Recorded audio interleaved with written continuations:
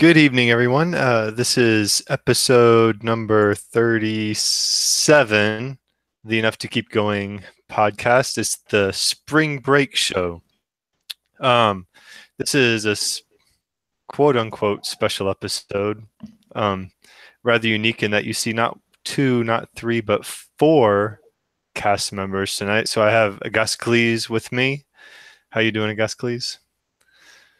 Good. Pop goes the weasel. And the weasel hmm. goes pop. uh, he, I'm, I'm, I'm it's already. DB's here as well. He's excited. Um, and then uh, we also have Prime. Hello, everybody. I'm very tired tonight, so hopefully this goes well. Hey, his his lower third is working. Agasicles and I couldn't get ours to work, but uh, that's nothing new. Um, I am Swiss Guard, and uh, for some reason they asked me to host again. So um, tonight's episode with the four of us will be what I hope is kind of uh, I don't even know what the term is biannual times two, quadrennial, quadrennial. I don't know. Uh, quarterly review show. So uh, we're just going to kind of take it easy and uh, look at the in- the state of the industry. Um, Prime kind of pitched this, and uh, we we just want an opportunity to all get together, the four of us, and talk about something. So um, this week, or we figured, you know, just kind of landscape shows would be a good a good uh, reason to get together. And um, after we we talked about it a little bit on our client, we decided that we're just going to break it down by platform. So Xbox One, PS4, the Switch, and the 3DS were kind of bundling Nintendo together, and PC, uh, PC Master Race. So we're we're gonna kind of shake it in uh, by um, going with uh, the.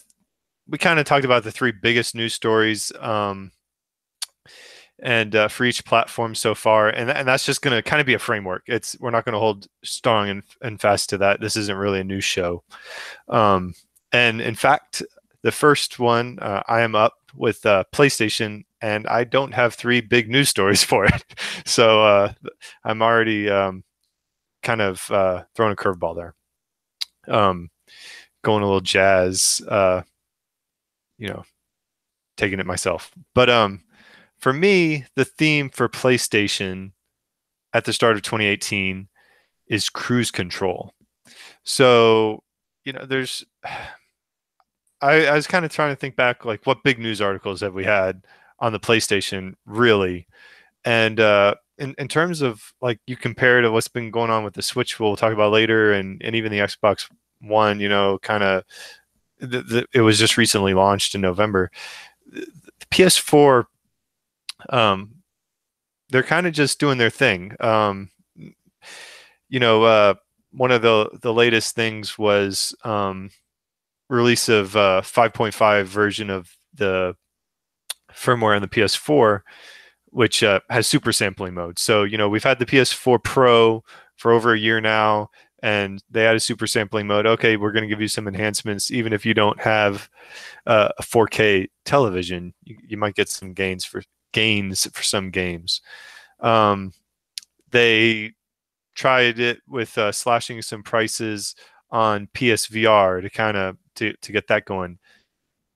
I think at the end of 2017 they said there were over two million PlayStation VR units sold, uh, which was more than I would have thought. But you know, are they really still trying to push that? Uh, I don't know. And the what really encapsulated this theme for me was this article I saw in Tech Radar, which, uh, granted, is pure speculation, um, just content filler. Uh, we needed something to talk about type thing, but hey, it, it's kind of interesting to to to to think about. And that was the PS5 what will the PlayStation 5 be like and when will Sony reveal it? And they kind of just go in talking, you know, how it's going to be a while because you got the Pro route still. But the fact that they're even looking forward is saying, okay, Sony has, you know, they've done their moves for this generation. and now it's mostly just we're looking on to some of the next big game releases like God of War, and uh, but there's no there's no real surprises. It's just going to be moving along, and uh, and and that's kind of how I feel. There there was no there was no missteps. There's just there's just not a lot out there. Um, DB, I know you're a big PlayStation 4 player. Uh, do you do you have any thoughts? I mean, you also have a you. I mean, you also have an Xbox. You also have a Switch. Has the PlayStation fallen by the wayside for you, or is it you know? Is it still so the PlayStation playing strong for you? The PlayStation's been my dominant console. Uh, maybe probably because I picked up the Pro uh, versus the OG Xbox. Uh, I certainly play the PlayStation more than the Switch at this stage. And a part of it, I mean, I, I agree with your assessment. It really is on on cruise control, right? They have a dominant market share. They're, you know, depends on what percentage you want to run with, but we're still in a two to one margin, more or less, uh, for Xbox. And as Switch is catching up on Xbox in terms of market share for this year, at least, the PlayStation still can just be. Uh, you know, when we get to E3, it's going to end up with the big name titles there. Its install base is huge. It doesn't have to do anything risky. And I think in some, and we've talked a little bit about this uh, on back channels, is, you know, this March for PlayStation feels different than last March, right? We had Resident Evil 7 coming out in end of January. We had Nier Automata. We had Nioh, We had Horizon Zero Dawn. We had a huge series of big titles that were coming out for PlayStation because they were still kind of churning things along. And now we've got God of War coming. Uh, but really, you know, other than than price cuts and bundles and continued, you know, the PSVR bundle and, and price cuts that you're talking about, that those were they brought them back down to to holiday prices. They brought them back down to two hundred dollars for the PSVR 1. 1.0 version, you know, 200 or th- 250 for the um, uh, the camera and the the Gran Turismo one, right? Mm-hmm. Uh, 350 for the Skyrim bundle, which is the 2.0 version, which has uh, H HDR pass through in the box. Uh, so in some ways, there some ways those price cuts are really about that they are trying to clear out the inventory of the 1.0 version because they have a different unit. Uh, but I also think it's it's the one piece of hardware that you know when you have that big of an install base, other than uh, discounts on your on your console, it's a new piece of hardware that that somebody can buy within the the infrastructure. So so no, in terms of me, I, I know that they're on cruise control, but it's also been my go-to console, and maybe it's just because of of what's there. Um, maybe it's because of the fact that I got a PSVR over the holidays, and I've been kind of diving into that and and really enjoying that as a different gaming experience. But it's it's been for me, it, cruise control is is comfortable. So so I, I guess please you've got multiple consoles, you know, and PC builds, multiple PC builds. You know, does cruise control does your interest in the PlayStation wane when when they're just kind of holding steady and, and not pushing boundaries or limits, or where have you found yourself? Uh, for me, it's you know as a as a gamer, right? From a, in terms of like what games I'm looking forward to buy, it's pretty much it. It doesn't matter to me as much, right? It's uh, I think I was talking to somebody about it recently, and you know every you know, every, you know, twice a month I have my regularly scheduled like buy a new game thing, and I either uh, pick the best game that's available on the platform I'm playing on, or I go best athlete and I pick the best release, you know, on whatever platform that I have. So um, to me, it's just a matter of like release by release, um, whether or not that particular title breaks out and gets onto my purchase radar. Um, as far as, so so if they're holding steady, that's fine with me as a as a pure gaming consumer. Um, in terms of my own assessment or analysis or feeling about what the company's doing and what they need to be doing, uh, man, it's it's kind of tough, right? It's it's tough when you're the fat cat, right? And you're kind of the incumbent. It's like, well, what do you need to do, right? You just, you know, to, to quote a line from a comedian, you know, you just walk in somebody's house and start eating. Like, what are they going to do, right? So, um, but, but I think what I've mentioned before is, you know, Microsoft is definitely not right sitting steady. Um, you can say what you will about how they've performed to date, but they are making changes and moves and coiling themselves up for a major offensive um, in the next generation. Um, you know, you can say what you want about whether or not that matters or that's important or how well it will do, but the fact of the matter is that Phil Spencer has been moved to a different position in the company. They are making changes at a service level. They have started a Xbox Online division. Um, I know we're going to talk about Xbox later, but but those guys are not sitting sitting idle. So so the question is, is is Sony doing something behind the scenes? They've had a change in leadership. Kaz has retired, or he's either retired or moved to be the chairman. I think he's he's vacated the CEO position. So um, does that? I think he would only do that if he felt like people were prepared um, to, to fill his shoes. And, and and I know he's a guy who mentors and trains and prepares for that. So so the question is really, you know, are are those people that are in those positions now ready to carry the torch, and what are they planning for when, whenever the next generation gets started? So, um, I was on a business trip last week, and uh, you know, there, there's usually some at, at, these conferences. There's usually some sort of speaker that they they get to do some keynote stuff, and we got the typical rah rah, um, you know, take the bull by the horns, etc. Um, you always have to be improving type speech. And uh, it was also littered with um, references to industries or to companies that I guess, as as Agasicles said, that this is what my thought went to. Um, rested on their laurels and were comfortable with the status quo, which was a high bar, but the bar is always being raised. So my thought is, um, we better see something in from E3 or an announcement prior to about service oriented something with the PlayStation. I, I, mean, I know they have stuff out there, but it feels like Microsoft, as you said, is really um, pushing to uh, to change the the industry coming up, and it, I, I I don't know. I I I feel like the PS2 or you know the, the, we've seen this before, right? Wasn't the PS2 like the the high end console for that generation, and uh, you know, and then you know the Xbox 360 just swept in and, and took it over. So I don't know. DB's shaking his head. I am. I'm shaking my head. I'm waiting for an opportunity because I think one the I, I think most people would argue that the Xbox, the original Xbox, was your high end, at least at that level, right? The the PlayStation was not the the I don't think it, one. Not technically, but I feel like the. Do you feel yes, like in terms of dominant was, market? Right. Oh, without a doubt, right? I mean, right, the PlayStation right. Two was, oh, you know, it is a record that's, seller yeah, worldwide. Best selling, best selling console ever, if I remember correctly. Yeah. Yes, so, console, right? Uh, other than the DS, I mean, it's it's pretty amazing. Right?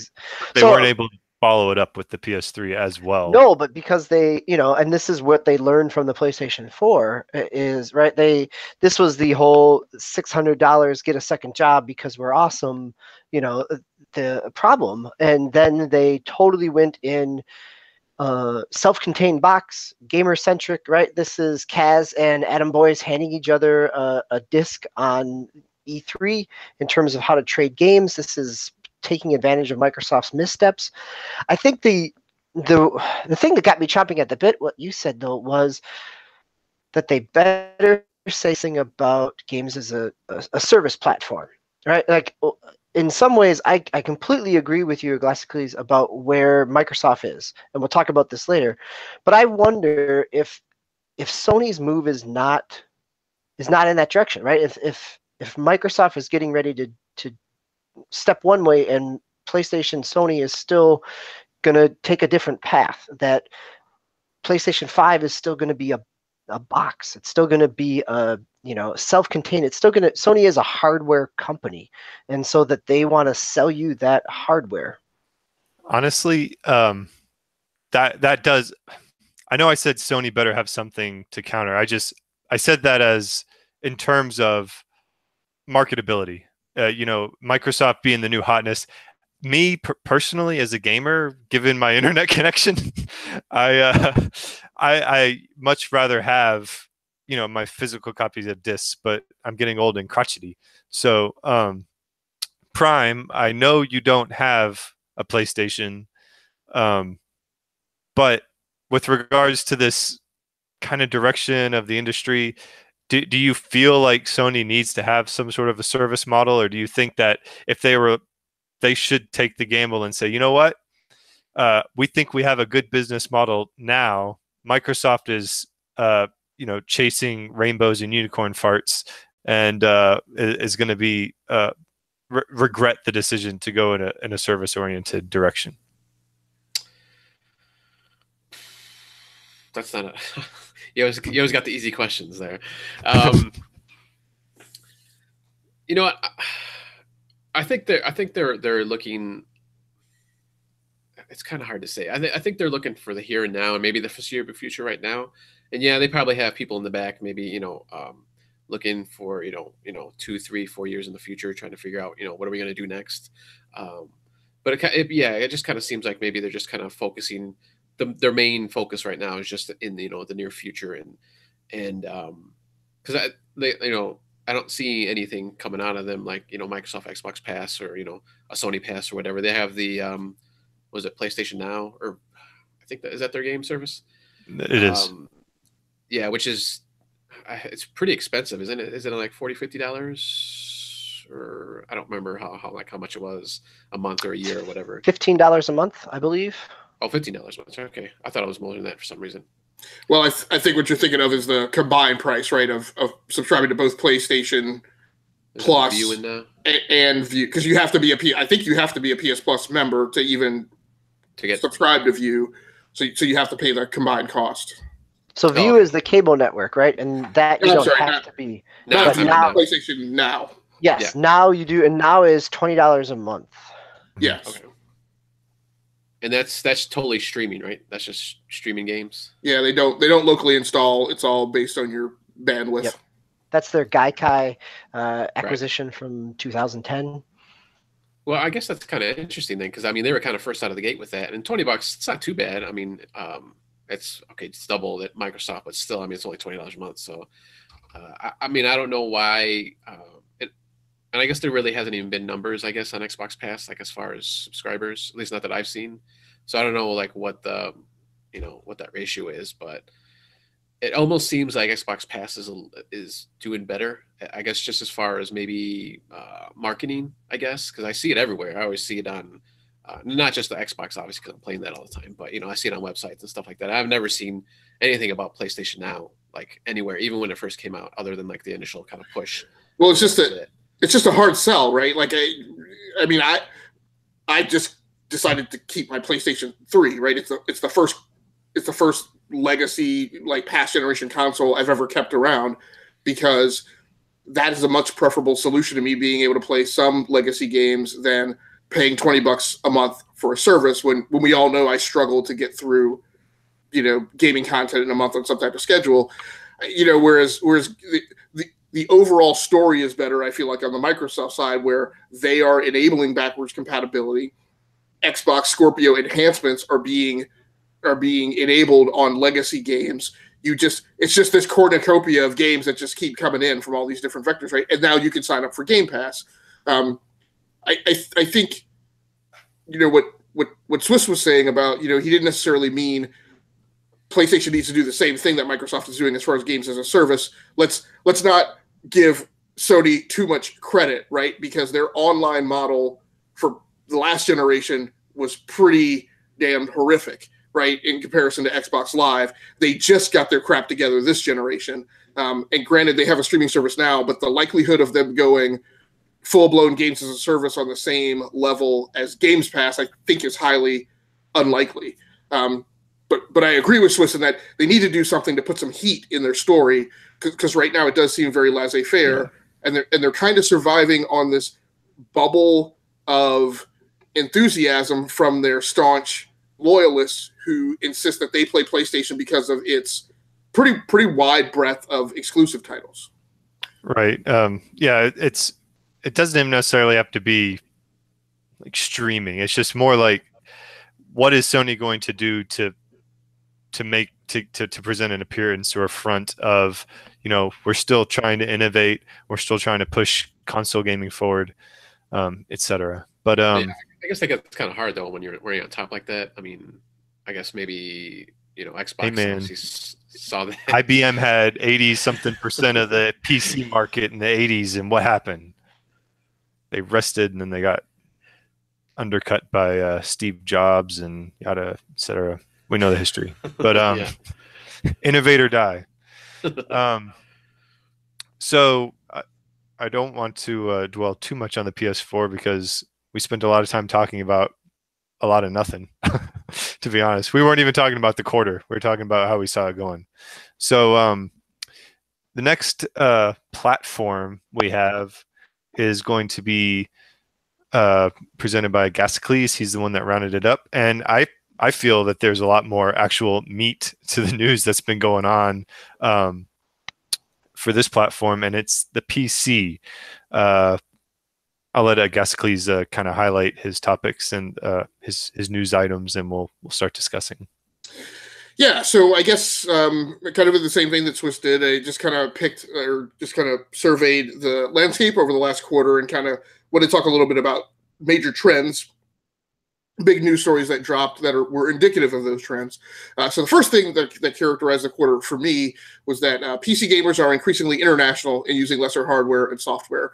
Um, and uh, and I and what I mean lesser, I mean less capable uh, soft hardware or software. So um, you know, Steam always harvests the data for the uh, hardware that you're gaming on. Um, I'm not even sure if that's opt out um, it may be. It, it, may be. I think you opt. I mean, it may be. It may be opt in. Um, I know that I periodically have to go in and, and, push and say yes. You know, send off my hardware data. Um, but uh, but in February of this year, they did their hardware survey, and the number one major thing that they noticed that more PC gamers um, are, uh, are, are, are joining the army uh, in China. So um, uh, China has always been a pretty large uh, PC gaming uh, culture, but um, up until now, all all U.S. consoles, or maybe even just non-Chinese gaming consoles, had been prohibited in China. And sometime in the last few years, uh, they dropped that prohibition, and so um, Chinese gamers have been growing for Xbox and PC, and I guess uh, Xbox, PlayStation, and Nintendo. But that's also had a spillover into PC, um, and more gamers uh, are coming out there. Um, but but the other interesting thing is so when you i mean china is a very large country and their industrial complex and technology uh, and and and overall wealth is large however that does not filter down very deeply into their um, into their population uh, they are not like uh, the U.S., where we have a very large middle class um, that really drives you know a large part of our consumer-based economy. Um, and so you have more PC gamers that are coming into the fold, but they're not running um, the latest hardware as much so as, as US gamers are and gamers in other parts of the country. That being said, those gamers also still um, haven't made the leap. So you have, you know, one effect that I'm going to talk about a little bit later is you have people who are playing on older video cards because they didn't make the upgrade before this whole crypto mining thing started, so they are stuck on older cards and really can't upgrade right now. Um, you also have a lot of people that seem to have, uh, well, with the, with the influx of, of gamers who don't have access maybe to all of the technology bits and pieces that we have in doing DIY builds, um, you have a lot more people now uh, running older operating systems. And so for a while, uh, the prevalence of Windows 10 uptake had uh, been on the rise. But recently, with this influx of gamers uh, in, in other countries, um, that population has been diluted, and now it's pushed back more um, uh, to the advantage of Windows 7. So we see uh, a lot more Windows 7 64-bit uh, PC gamers than we're seeing um, the increasing trend uh, towards Windows 10. So um, so it's, it's interesting from an aspect of you know the question is that it always presents to the companies who are manufacturing the hardware and to Microsoft who's pushing the operating system is okay. Well, when when people aren't making a rush to upgrade, does it make any sense for us to push out newer technologies when um, we don't even have people playing on, you know, on 1000 series uh, G GeForce cards uh, just yet? Uh, and again, it makes me question this push about from the media of VR, VR, VR, VR, and I'm like, when increasing numbers of PC gamers aren't even running the hardware that would be necessary uh, to make the upgrade, and we're not seeing what I thought would be the major reduction in prices for VR equipment that I would have expected to see uh, going into this point of 2018. Um, the other big news story uh, to me uh, that characterized um, this quarter is uh, the story of Steam is just kind of becoming this uh, story of bitterness. Um, there are lots of problems with Steam. Uh, I've commented that I felt like as we turn the corner into January, um, when they kind of opened up the floodgates and removed kind of the partitioning and segmentation that existed on the Steam platform, about, you know, between games and indie and Project Greenlight and all that kind of stuff, and now you're just presented full force with the entire Steam inventory to the point where, you know, talk about a use case for enabling AI. Um, and I'm probably giving away a good business idea. If anybody could come up with an artificial intelligence machine learning agent who could crawl Steam and surface the games that are actually worth a crap, um, then um, beyond what Valve does, because that's not very effective, that would be a particularly lucrative application. But um, you know, so so now gamers are presented with this huge inventory of games that they can't make any sense out of. It's it's really useless as far as discovery. Um, so there's that. Uh, they've also just become embattled and embroiled with also trying to control uh, their the people who are publishing through the Steam platform, um, as well as uh, as as well as you know their public image with gamers. So uh, you have um, you have publishers who are trying to get away with stuff. In this one instance, uh, if we recall, again, I think back in February, um, that uh, that there was a publisher who uh, basically told its employees to go onto Steam and give the game positive reviews in order to encourage um, in order to encourage uptake.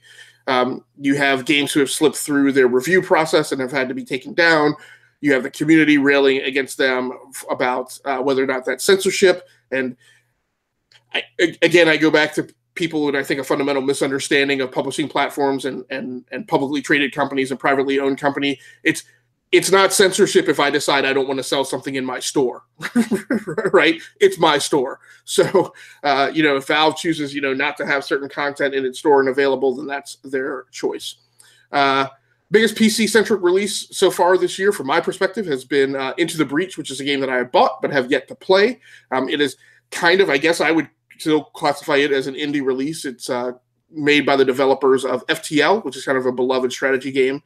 Uh, other big releases so far this year: uh, Age of Empires uh, Definitive Edition, the uh, expansion pack to Civilization Six: Rise and Fall, uh, the Battle Royale mode for H1Z1. Um, or Hizzy, as I like to call it, Final Fantasy 15, and Warhammer Vermintide 2. Now, what do I take away from that list of major releases?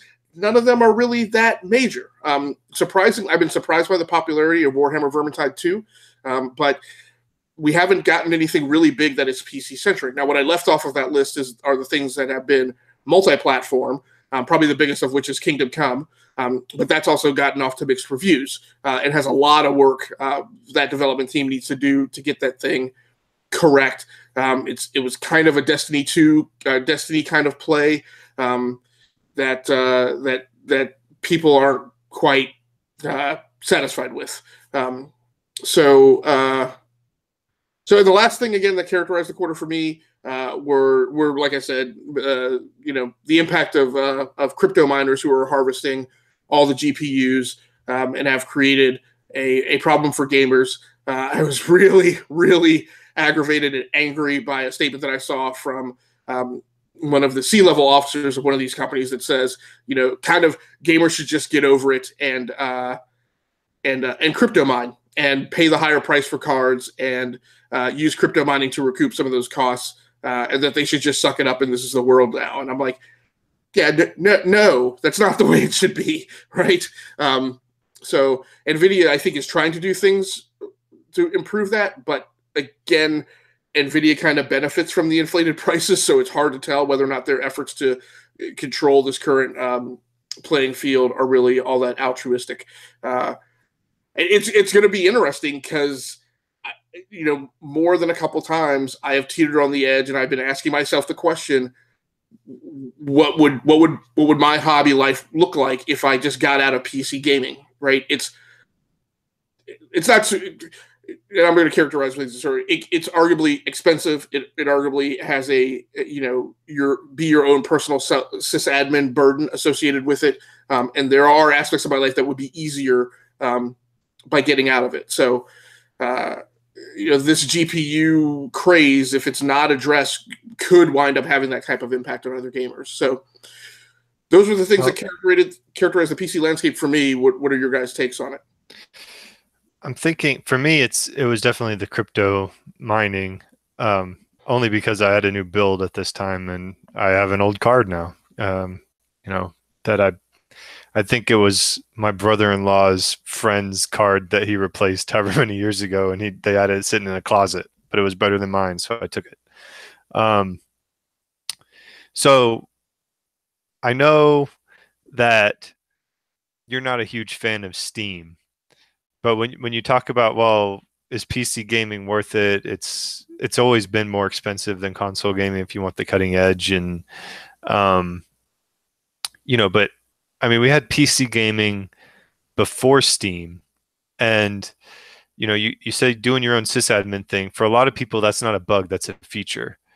And can can you? I mean, I guess DB, do do you think that Steam is an impediment, or I guess for me, like I never use Steam as a as my means by which I discovered games. Like for me, PC gaming is bigger than Steam. It isn't Steam. It's just Steam is a convenience so that I don't have to worry about my discs and I can when I get a new build, I just log in, I get my stuff back, um, and I have my cloud saves.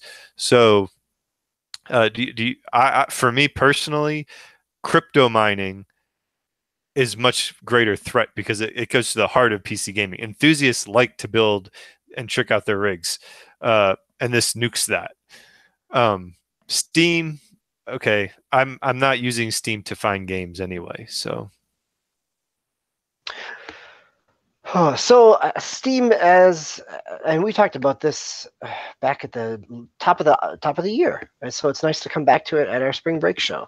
In terms of, you know, we talked and I brought up some problems in terms of Steam as a discovery platform, uh, the the sheer scope and quantity of indie games and independent games. I'm going to use that more in terms of what is released and how undiscoverable and and buried things get. I think there is a still a convenience of of having it in one spot, having it update, having it all there. I think I think that there is uh, as a platform to purchase that material, it's functional. As I, I also see a Glassic's uh, concern and and irritation with it is because it could be so much more than the the chaotic swamp that it it is. Uh, and every time that they've tried to do something with it, they've backpedaled and changed. Um, you know, so I think that there's there's that piece, but it's still a stable platform. It's for for you know just talking about the the problems and the the self admin you know the nice thing about steam is that it it helps with that for people that may not have that confidence of of sitting in and you know think about i think about running running games on a DOS right? And having to to make sure i booted up the right command line to to get the game running that that you know that that's not what happens on steam. I just have to click on the icon and hit play and see who else is playing right? I mean it's some ways it's they're in that same coast mode of, of playstation that they're just they're there. They're not doing anything to, to really uh, advance what they you know what they could be. I think the other piece uh, that I find interesting from our perspective as E2KG is that when we did our, our year wrap up show of news, one of our news stories for last year in August was about the the huge spike in graphic card prices. And and that has only continued and and now is getting picked up uh, on a much broader network uh, of of sites. And is also uh, you know the fact that it, it's just continuing to be an issue. I think the one thing that it does to to your point, Agostocles, uh, of and and even Swiss, right? That for the first time in a very long time, it's cheaper to buy a Dell pre-made unit than it is to build your own because for 700 to 800 dollars i can get a, an entire package that will have a 60 uh, you know nvidia card in it. And i can't even buy an nvidia 1060 card for less than 500 dollars at this point. So so in some ways it's not a bad time to be if you don't want to if you're treating it like a console right? If if you're if you're treating it as a as a hobby and the, the tech build aspect of it, it is not a good time. And it's overpriced and it's, you know, it's more locked down than ever because of platforms like Steam. Uh, where if if you're somebody who grew up with a console and wants some flexibility or other things, it, eh, you know, the PC is is there if you're willing to pay for it.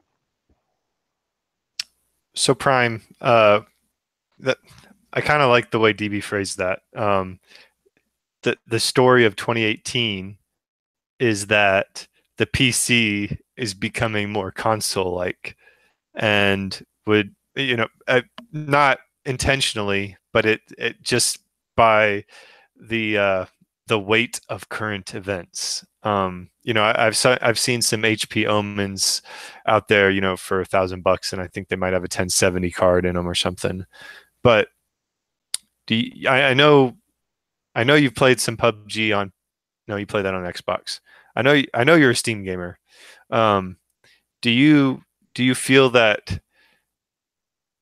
the PC kind of becoming a console commodity, being forced to, uh, because of the way Steam works and because of crypto mining, um, is that like a good thing or a bad thing? I, I, I, to me, it's a bad thing because I come from the enthusiast perspective of PC gaming, but do you think that could actually help uh, the PC community if um, it, it, becomes kind of you know democratized in how you purchase game or purchase the, the platform rather than you know a race to have the uh, the sexiest hardware?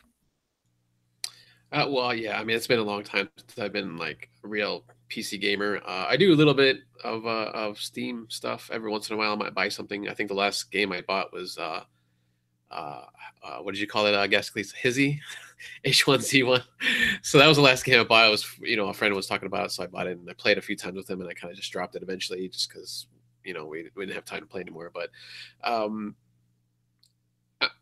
I know Steam, it, you know, as far as discover discoverability, excuse me, you know, it's it's really hard. You know, there's so much getting thrown out there. I mean, even, uh, but that that's kind of like on every system. It's starting to seem like, like even Xbox, PS4, mobile is huge. Like it's the same thing. It's you know, it's hard as as heck to find, you know, a great game on there because there's just so much, you know, stuff getting thrown out there. Um, I don't want to call it shovelware, but I mean, I guess that's kind of what it is. Kind of like on the Wii, back in the Wii days, this, that term kind of popped up. Um, but I think it's still a, a, good system out there for uh, at least like the sales and stuff like that. You know, um, I guess one of the stories, and I don't know if you guys didn't see this or not. I think within the past week or two, that Valve is supposedly supposedly going to get back into games, so maybe that'll give it you know a big bump again. So I mean, you got that going, you know, for it.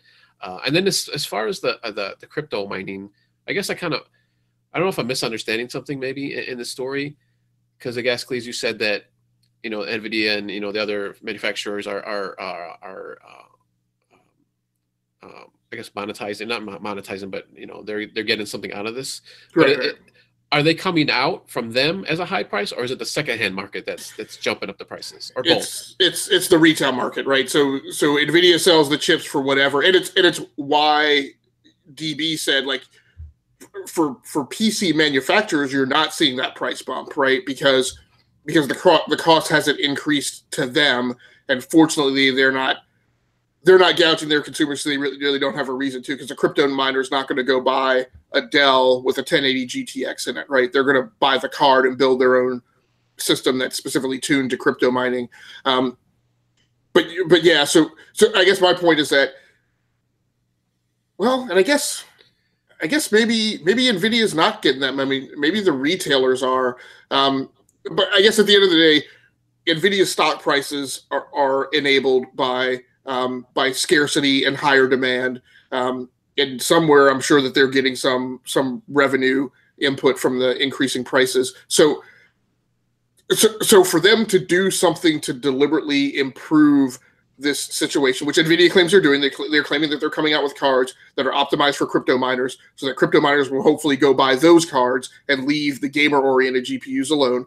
Um, but but but you have to believe that that NVIDIA is doing that because they think it's the right thing to do because they don't necessarily benefit from that move financially. Maybe they will, maybe they won't.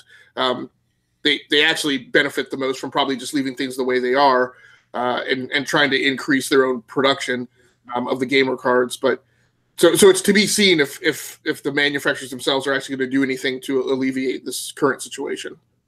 Yeah, I mean, it might hurt them in the long run just because I mean, if you can't get one, obviously no one's going to buy any, anything at all. So I mean, yeah, it'll be interesting to see how that how that uh, works out. All right. So um, next up on the agenda is Prime, and I think he has the rosiest review. Um, definitely the most sunshiny and uh, you know the most family friendly. I think. what are we talking about here? Are we talking about mobile? Is that what we're talking about? we're talking about the Nintendo, of course. Nintendo Switch. Hold on, wait. I have to wait until my timer resets in five more minutes before we can talk about mobile. that was one thing we never we didn't put in here. See if Dave was on here. He can maybe he could have talked about mobile because we would have missed missing that platform. Uh, but yes, I got the Nintendo. Uh, so I, I, don't know if it's all rosy, but you know it starts off that way at least. So I got uh, three bullet points here that I'm going to kind of I'll talk through real quick right here, and then kind of deep, you know, dive a little bit deeper into. Uh, so I'm going to go, you know, our favorite subject is finances, so I'll go over that a little bit. Uh, there's been a couple, and actually, I guess three Nintendo Directs now, because there was one today, I believe. There was some uh, indie, uh, it was the Nindies, as they call it, uh, Direct that happened today. And then I will go through just some releases that uh, have come out this past year. So, finances. Uh, we had at the beginning of the year a report that uh, Nintendo, at least in the U.S., as far as U.S., is the fastest selling uh, home video game system uh, that's come about, uh, basically in all of console gaming, I, I suppose, according to this article uh, from Forbes. Uh, so it sold four point. let me get the number here. I lost my my figures. 4.8 million units in 10 months, in the first 10 months of its existence here in the U.S., which hurdled well, a little bit of the uh, Nintendo Wii, which was just under or just over 4 million units. And then also it had, as a combined uh, worldwide sales, uh, 14.86 million, it actually had surpassed the Wii U uh, total lifetime sales of 12.5 million within that first 10 months. So, I mean, obviously it's, you know, it's selling, it's selling pretty, pretty well. Um, uh, there was one other finance thing I had here. Now I lost it. But um, yeah, yeah, I mean that's just you know a great accomplishment that you know it's selling this well. Um, you know, the first ten months, yeah, they were great. They, we we had all these games and and um, almost one at least one major game coming out a month. Uh, unfortunately, it's slowed down just a little bit so far, as, as I've seen here in the first quarter. That I'm going to talk about in a little bit, but uh, it's still, you know, as far as I know, it's still selling well. Uh, I don't think we've got any numbers as far as the first year, like total year numbers. So we'll have to find out find that out here maybe in a few weeks or so when um, hopefully the financials, their year financials uh, come out. Uh, so let me jump to the Nintendo Directs. So there was a mini direct back in January on January 11th. Uh, like I think it was like 10, 11 minutes, 12 minutes at the most. So I was going through some indie stuff, some um, you know some uh, um, some more of the uh, the bigger the bigger titles out there. So we had a world the world ends with you final remix is going to be coming out. Excuse me, remix is coming out sometime this year, I believe in the summer. Uh, we had Hyrule Warriors, uh, which is bringing content from both the Wii U and the 3DS version, put in one you know one big title that's going to be coming out. Uh, we had the first announcement, I believe it was the first announcement of Mario Tennis Aces, uh, the Mario Tennis uh, series, which is bringing back the story mode, which I guess hasn't been been in there for the last couple of games. Uh, and then we had a the big Mario update, uh, the Balloon World, which has Luigi pops up in the in the game, not as a playable character, at least not yet, but it's kind of a, a fun little side mode that they they uh, they released for I believe it was for free, uh, where you kind of you go through the world. You can be one person going through the world and hide in balloons, and then another person comes along and tries to find them. Uh, I haven't tried that out yet, and I'm not sure if there's. I don't know if there's any rewards or anything. DB, have you tried that out? Or any uh, my kids, my sons have. Yeah, it's it's coins. It, it's oh, lots and lots of coins. Yep. Okay. No moons. Uh, not that I'm aware of. No, doesn't add to the 99, 999 moons at all. 99 left balloons. All right, a little 80s reference there. All right, and then the final big, uh, the final big game that they announced right at the end was Dark Souls remastered. So uh, that was a big, uh, big deal for for everybody. Um, I played back on 360. I, I, kind of enjoyed it. So maybe if it goes on sale, maybe I'll, I'll jump on it. But that's coming out this year also. Uh, so then a couple months later, on March the 8th, uh, we had a, kind of a bigger direct, which don't, had. Don't oh, forget about Nintendo Labo. Oh yeah, I, t- I did forget about that. that that was something separate. I don't think that that was in any direct, but yeah, we had the Nintendo Labo, um, kind of a maker, kind of a deal that Nintendo's doing here. Uh, it's coming out next month, I believe, in April, maybe near the mid end of April, uh, which is their little cardboard uh, cutouts that you can pop out and you know make to different. Um, there's like a little house that you can do, and a motorcycle, and fishing, and just a bunch of other things. And I, I believe you can. You, there's a there's games or at least mini games that maybe you can create within the software also it's itself. So that should be pretty. Yes, cool. that was something that was just shown at the most recent event. That there's some simple kind of almost scratch type of game programming in there, and also some audio creation. So there's cool. there seems to be a little more to it than just the a mini game collection. Yeah, so yeah, that should be that should be really cool when it when it comes out uh, in about a month or so. Um, so then, the, like I said, the next big direct, uh, we started out with some 3D 3DS games. Um, we had the Wario Gold, which is kind of just like a mishmash of uh, you know little Wario mini games that have come out or that, that are going to come out uh, in August. That's coming out in August. We had uh, Luigi's Mansion, which is coming out uh, this year, which is a remake from the GameCube, I believe. Am I correct? Anybody know? Yep. And then uh, that's coming out this year too. And then Mario and Luigi's Inside Story, which is kind of a double pack of uh, the Inside Story and I think it was Bowser Jr. No, it's just Inside Story, but it's got extra content. Oh, okay. Was that okay? Was that new? Is that new content then, or is that? Yeah, I think released? it's almost like what they did with the Superstar Saga and Bowser's Minions. So there's a couple extra missions and some some side content. Okay and that's not coming out until next year, 2019. Which I was kind of kind of interesting that they kind of announced it now. So they usually, I don't know, that's just kind of weird. Um, and then just as far as the system itself, uh, we had some Pokemon versions that came out of the the 3DS, the new 3DS. Uh, I believe there's a uh, just like one that looked like a Poke Pokeball, and then another one that was a Pikachu, and then like a kind of multi, just different colored ones that they've been releasing uh, here and there. I think they had like an orange one and a like a light blue one. I don't remember what the actual colors were. I know they had probably had something specific, but uh, so it's still, I mean, it's still selling, selling like gangbusters. So it's pretty cheap now.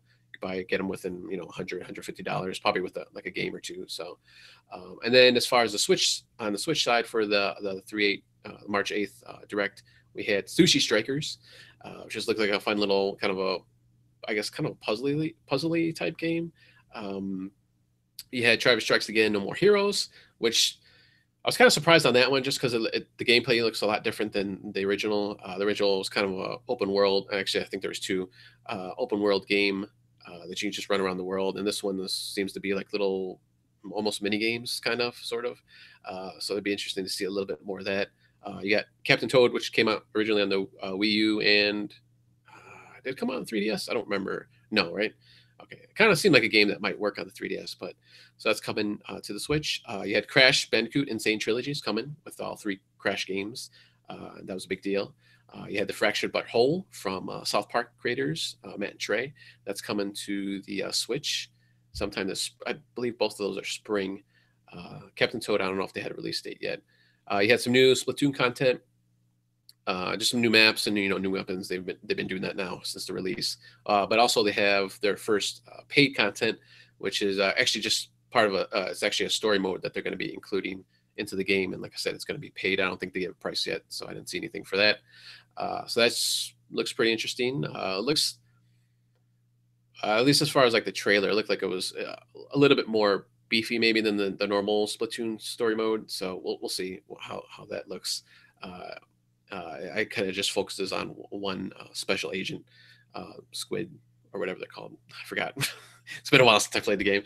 Uh, and then, of course, at the very end, you know, the big, uh, the big, uh, the big reveal. You know, the whole. Uh, oh wait, there's one more thing. You know, we got the Super Smash Brothers little teaser, uh, which I think everybody, or not everybody, but most people might have thought it was just Splatoon because it was just kind of the the Squid Kids kind of jumping around, um, you know, shooting at each other, and then everything goes black, and you see the the Smash Brothers um, symbol in the background. So, and they show a quick little you know, thing of a Link and uh, Mario up close. Uh, looks like Link maybe looked like it was Breath of the Wild Link. So we'll see. Uh, Mario looked the same. I didn't see like Cappy on his head or anything like that. So we'll see how that goes. But that's supposedly supposed to come out this year. We'll see if that happens. Probably maybe end of the year with their online service. I think is what the most of us were, were talking about here in the, the chat.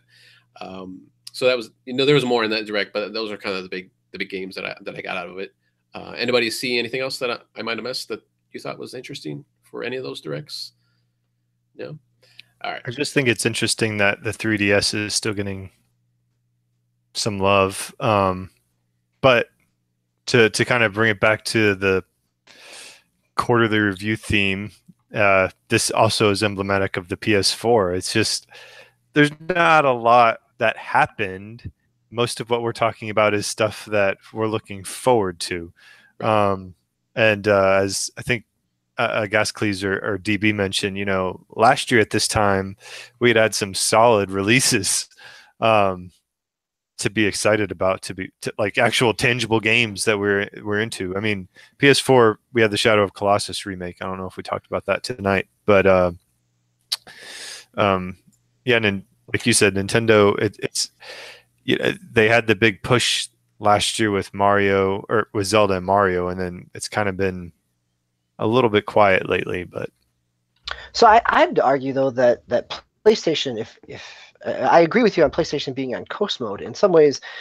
Nintendo's different, even though there hasn't been big announcements. There's been a steady stream of of content to look forward to, mm-hmm. right? There hasn't been a whole lot of big releases, but what they've successfully done, at least what I think they've successfully done, is is given owners who picked it up over the holiday, you know, the the the people that weren't day one adopters or or Nintendo diehards, the people that picked it up in the in the fall and in the holiday season, here's three months worth of different types of gaming experiences, small, cardboardy, big name or at least semi big name stuff that shows that Nintendo is still going to be putting out games for the system that they just spent money on. So it's more of a justification and, and uh, rather than you know kind of a, a production at this stage. I, I mean, I kind of agree with you, but I I worry about how long that will last. You know, I'm I'm this may not be accurate, but I would say I would claim that I'm a uh, like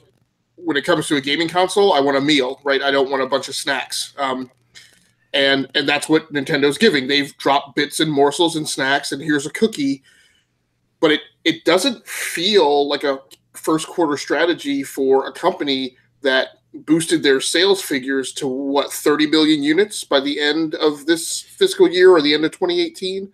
Um, it, it doesn't feel like that aggressive punch you in the face type of offensive. So I'm, I'm a little concerned about that. I'm a little concerned about where are the big titles coming this year and and why have they not been announced? Why haven't more of them been announced? I, I would, I guess, I feel like the only thing that's really in the wind right now is Super Smash Brothers.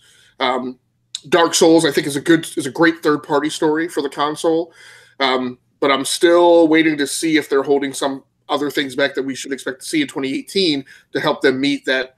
I, I think it's 30 million dollar, 30, 30 million unit figure or, or whatever it is. I, I I know that they've bumped the target sales figures for the second year of the Nintendo's life twice um, now. Um, if if I'm wrong about the number, but I know that they've bumped it twice, and it, it needs to be fairly aggressive. So, yeah, I think it'd be disappointing if we go through the whole calendar year of 2018 and the only prominent release, like flagship Nintendo franchise, is Super Smash Brothers. Um, but I, I'm I'm holding out hope for more for more announcements coming around E3, but we'll see. Um, does anybody have any other comments on Nintendo, or you want to move on to uh, to, to the Xbox. Uh, just one more thing, just uh, on the on the releases. Um, just kind of in the in this first quarter, they had Dragon Quest Builders. They had Celeste, which actually kind of kind of came out of nowhere and seemed to be pretty popular still popular, still in the top ten uh, when I'm looking at their uh, bestsellers on their on the system. Uh, you had uh, what I thought was called Faye, but evidently it's called Faya from another podcast I was listening to. I don't know where they get that extra uh, letter there, but uh, you had that, which seemed to do do pretty good. Uh, you have Kirby, obviously, it just came out, and then something that had I guess Cleese had mentioned, uh, I think a week or two ago. They have you know a lot of adult oriented stuff that had come out. Outlast, uh, and then I think one of the DLCs. I don't know, maybe it was the second one that had come out. Bayonetta one and two, and then Payday, which was kind of recently too, that had come out. And you know, obviously those are more adult themed and you have, I guess, the fracture butthole. That's probably more a little more um, adult uh, coming out, and then maybe Travis Strikes Again. Eh, it's I think that's a little bit more mature mature game, uh, or at least it was on on the Wii. So you know they, they got a little a little bit of everything, and you know like you guys are saying, you know yeah there was not. I was kind of surprised that there wasn't a big title that came out on the anniversary of of the Switch itself. So I thought maybe they might have dropped, you know, dropped something, uh, at least a little something. But it was just kind of like, hey, you know, it's been a year, it's you know, everything's going good, and then you know, business as usual. We're going to give you a gluttony of uh, of indie titles to, to, you know to play with. But we'll see, we'll see what happens with, with the rest of the year. So our final platform for the night, uh, DB uh, took a look at the last three months in Xbox news. Yeah, so this is probably the thinnest of the the platforms uh, in terms of news, but it's also the one I'm probably the most excited to talk about.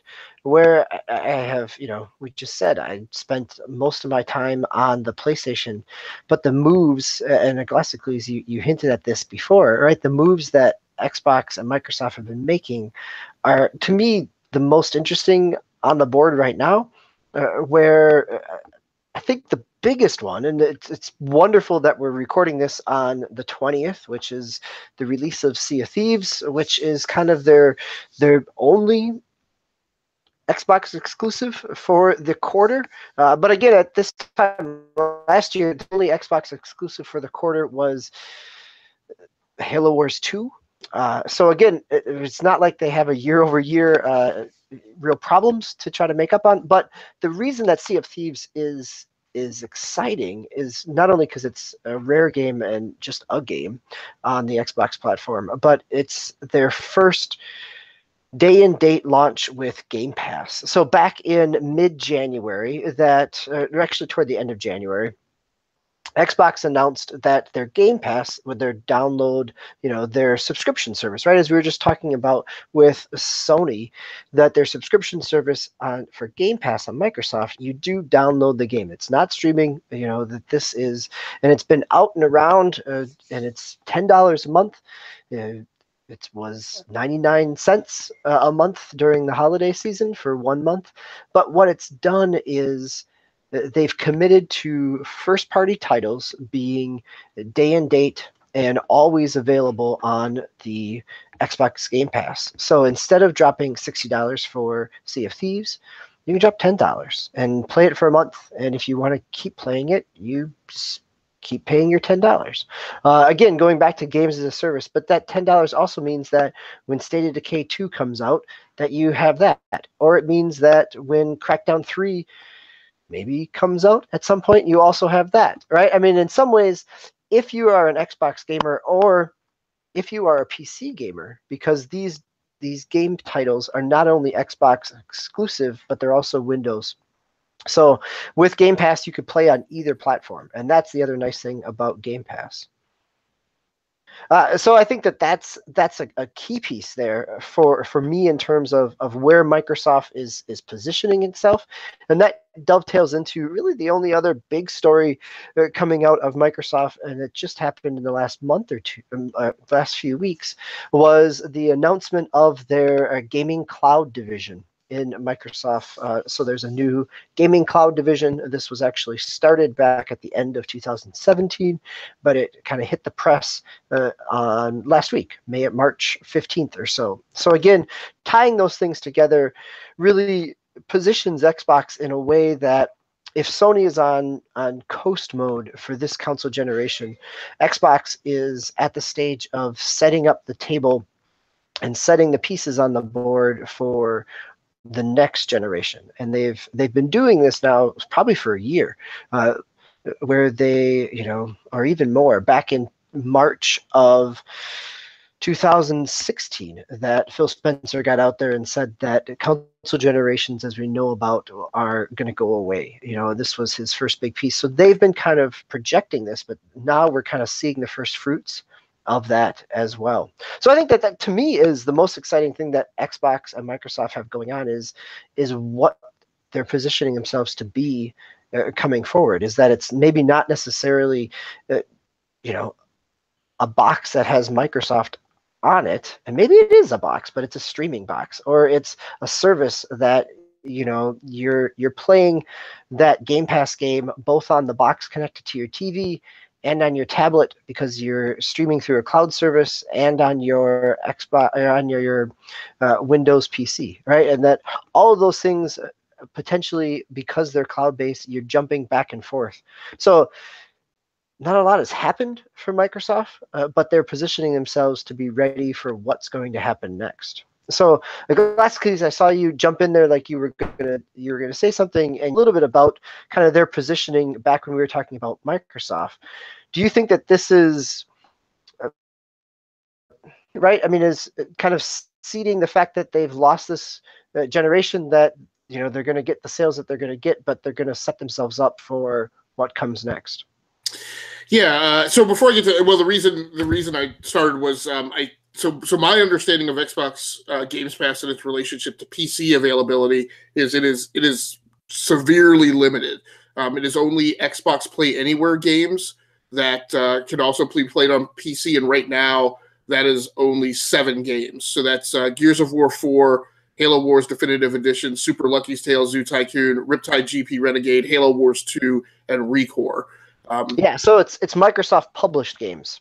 Um, I don't. I this Xbox Play Anywhere doesn't seem to sync up perfectly with that, just because Forza Horizon Three um, was was cross buy. I, I, bought it on PC and it showed up digitally on my Xbox, but it is not showing up here in this in this Games Pass games, and that that could be a mixture. I, I think this is one of the things that's going to be problematic from a branding and marketing aspect. Is it's this convoluted equation of multiple parameters that determines whether or not where the game can be played.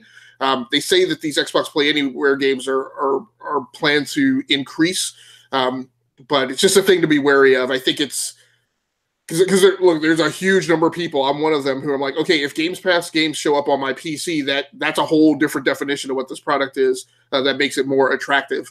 Um, but I, I, I, I, I think it's a risky like if you're going to buy Games Pass, make sure that you want to pay those games on Xbox because what you're going to be able to play on PC is going to be a, a little janky and weird and, and ill-defined probably for a while. Um, as, as far as you know, what what is Microsoft thinking? What's behind this? I, I think, and I've said it myself before, that they've seeded this generation.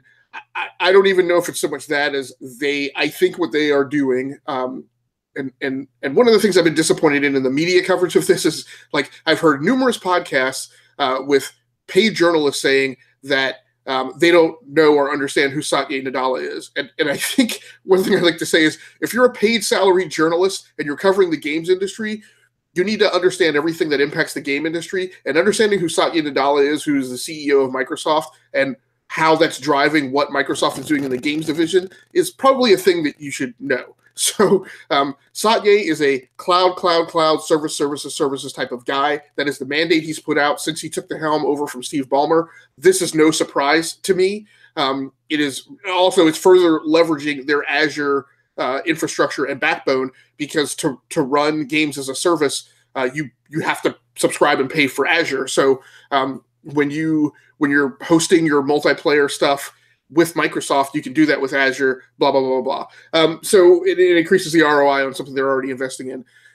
I don't know if it's so much that they're seeding this generation now. I, I think almost the way I'm starting to think about it differently is that they have they've done the Kobayashi Maru, right? They've done the Captain Kirk and changed the definition of the test. They, have they've rewritten their reread it, rewritten their competitive playground, just like they did with the whole HD DVD and Blu-ray thing, right? They decided we're not going to fight you on the battlefield of what disc-based media takes priority. We're going to change the definition of the battlefield and say no what's really more important is digital distribution and download so yes you guys won the whole blu-ray thing but we're changing the market so that we no longer care. I think that's what they're doing here. They've given up on the definition of what is a console generation and who wins it. They've done that both on the hardware side with pivoting and saying we're, we're not talking about generations of consoles anymore. We're making the consoles like Windows 10, and you're just going to be in the Xbox ecosystem. And every once in a while, we're going to drop an upgrade to that same hardware lineage, um, which is a slightly different definition. But also, we're moving to games as a service. So, really, you buy Games Pass you you invest in the periodic Xbox upgrade, and we're really just kind of making it like your smartphone. Like if they get the price down, maybe every couple of years you go out, or even not, right? Because the smartphone is definitely five hundred bucks now um, and higher for a flagship. Um, every couple of years you go out and you get your upgrade so that you can continue to play this games as a service thing on the highest fidelity platform available. Um, and I don't, I I'm I feel like I'm almost certain that what Satya is telling them is don't care about console generation 8 that's a that's an antiquated paradigm and that's not the game we're playing anymore and to me that's the exciting part right? Uh, that and this is where it'll be really interesting from a from a business perspective to see sony is moving in or it seems to be continuing to move in the same direction that they've been moving in in terms of, of hardware manufacturers.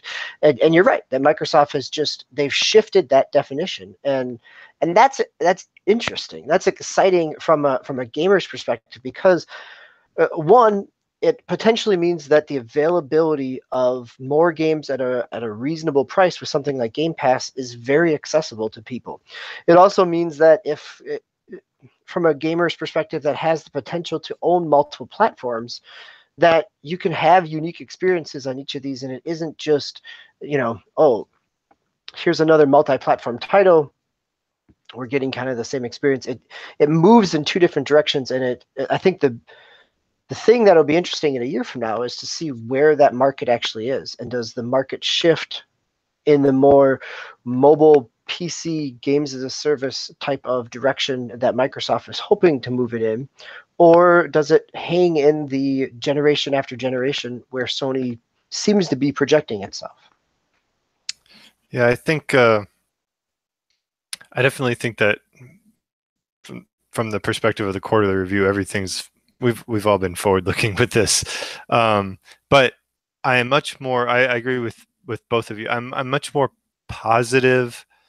Uh, I have much you know a much more positive impression of Microsoft lately than I did probably a year ago when like you know they announced the Xbox One X and it's like oh it's the most powerful console ever. That that didn't you know that didn't excite me as, as much. It didn't. It, it, wasn't you know my cup of tea. But uh, just from a outsider, you know, I I don't have an Xbox, but just from an outsider of like you know they're trying to like you said they're trying to change the battlefield. They're trying to change the game. Um, is is, is interesting from you know history of technology perspective. Um, now, I guess my my my hesitation uh, my, my one question if they do go that route and and whether it'll be a problem is how are third parties for example like square square enix for example you know they, they throw out final fantasy 16 how are they monetizing uh this games as a service platform is the PlayStation model going to be more profitable for the third party publishers? Uh, so uh, that that would be that would be my kind of question going forward.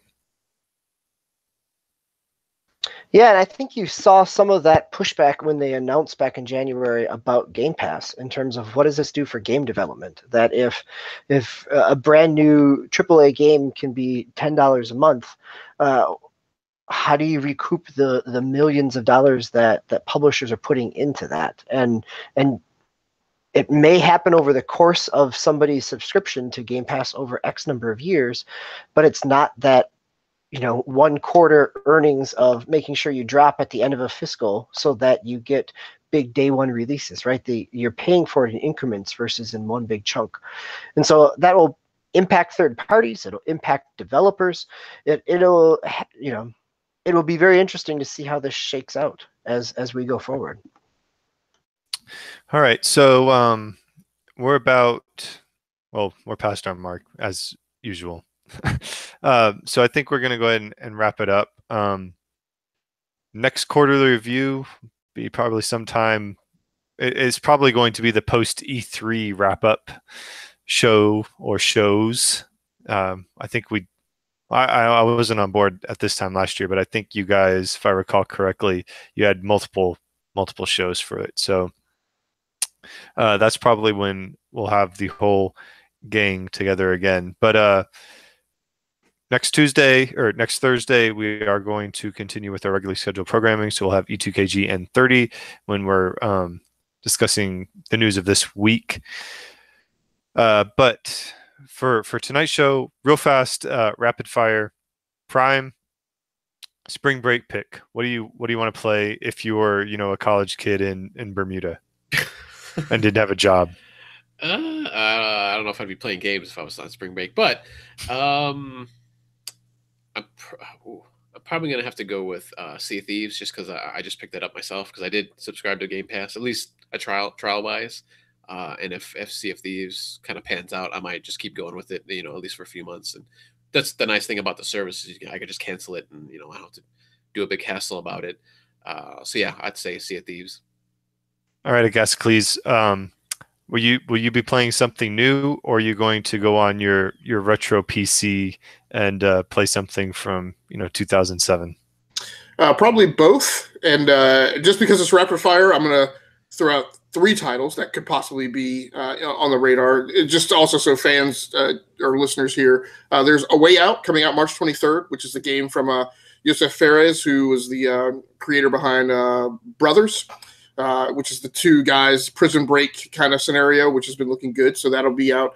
Uh, there's Far Cry 5 coming out March 27th. I think a ton of people will be playing that over spring break. Those who don't travel and stay at school because they've got work to do. And uh, here's one for DBQ Major MLB The Show 18 uh, drops March 27th. So uh, I might be playing some mix of those. All right, DB, what do you got? So I, will go with my my pick from Meglasticles, and and MLB the Show is should be coming to my doorstep on the 23rd. So yes, I'll be excited to to play that, talk about that in terms of of what's going on there. But I also, as another PlayStation only, right today we also get Ni no Kuni 2, a traditional JRPG. Uh, and so there's there's pieces there. So lots of stuff starting to come now. We're hitting the end of the the fiscal year, and we're heading into April where we'll see some bigger releases as well.